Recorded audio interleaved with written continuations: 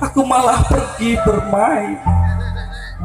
Kadang ibu, kau perintah aku mengaji, tapi aku suka lari-lari.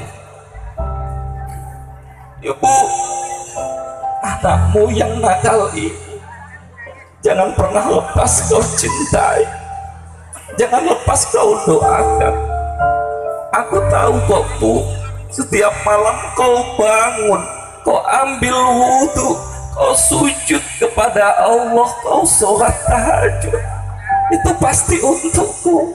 Pasti kau mendoakan aku, ibu. Mari bersama-sama kita pegang kaki ibu dengan doa.